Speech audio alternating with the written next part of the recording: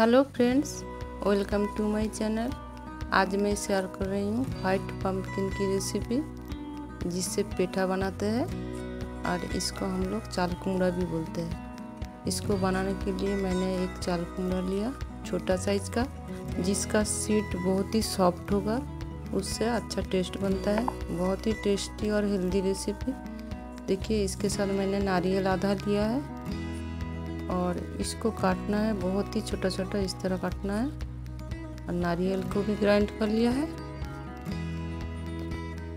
और उसके साथ चाहिए चीनी। चीनी वन टीस्पून चाहिए, भुना हुआ जीरा, ये भी वन टीस्पून चाहिए कालंची ये भी वन टीस्पून चाहिए। और चाहिए प्याज। बिना प्याज का भी बहुत अच्छा लगता है। और चाहिए सूखी लाल मिर्च, तेज़पत्ता, अदरक और ग्रीन चिल्ली अदरक वन टीस्पून चाहिए। इसको मस्टर्ड ऑयल से बनाएँगे और गाय का घी भी चाहिए। कढ़ाई को गरम कर लिया। अभी इसमें डालेंगे मस्टर्ड ऑयल इसको गरम होने देंगे।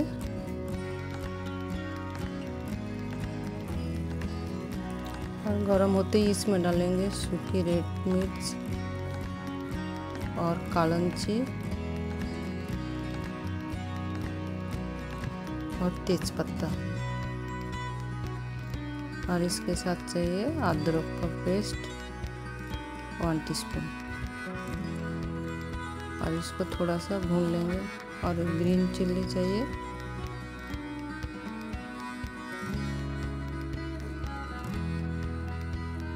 देखिए, ये फ्राई हो गया है।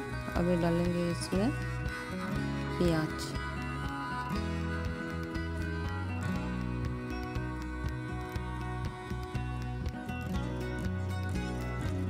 और प्याज को भी एक मिनट फ्राई होने देंगे।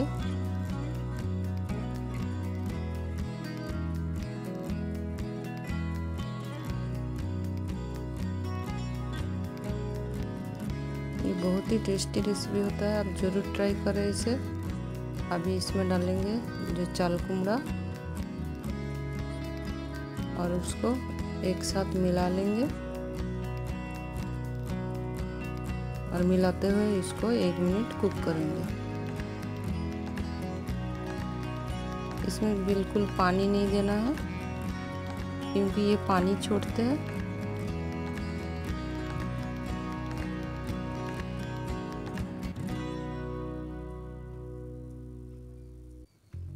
देखिए, हमने मिला लिया अच्छे से।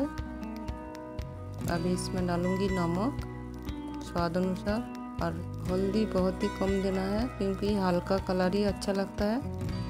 और रेड चिल्ली पाउडर भी हम इसमें कम डालेंगे, बहुत ही कम।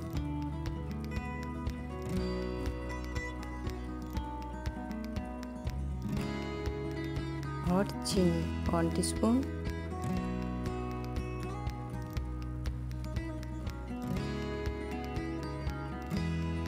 और भुना हुआ जीरा वन टीस्पून बहुत ही हेल्दी होता है। और इस सबको मिला लेंगे। मिलाते हुए इसको दो मिनट कुक करेंगे। इस अवस्था में गैस को मीडियम रखना है। नीचे से जलने का चांस रहता है।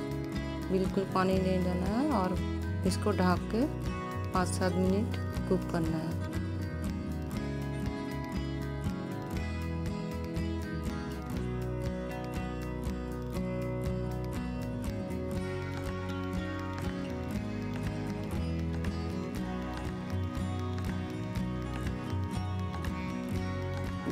इसको मिलाते हुए, फिर इसको फिर से ढाल देंगे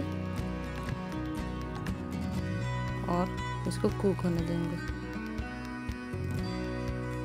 देखिए, पानी छोड़ दिया है और ये आधा से ज़्यादा बॉइल्ड भी हो गया है।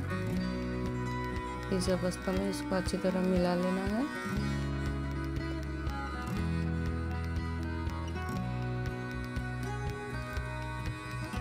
अभी इसमें डालेंगे नारियल का जो पेस्ट बनाया था। इसको भी मिला लेंगे। इसको मिलाते हुए और भी एक मिनट कुक करेंगे।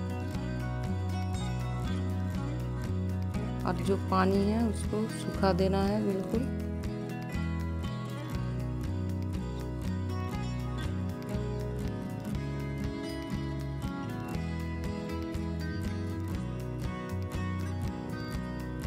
इसका फ्लेवर भी बहुत अच्छा है, देखने में देखिए कितना बढ़िया लग रहा।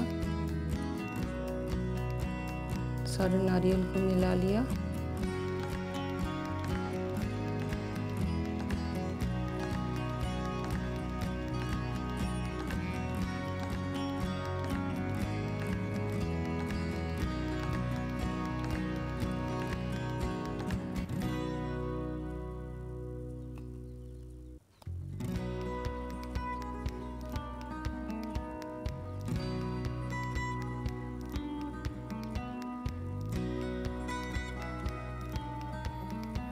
अभी इसमें डालेंगे गाय का घी ये भी वन टेबल स्पून चाहिए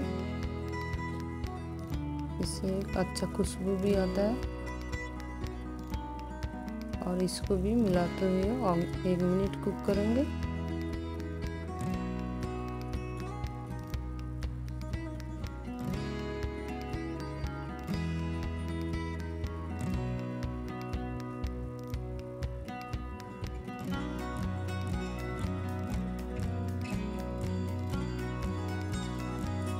ये होने ही वाला है।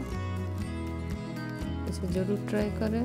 अच्छा लगे तो लाइक कीजिए शेयर कीजिए और मेरे चैनल को सब्सक्राइब कीजिए।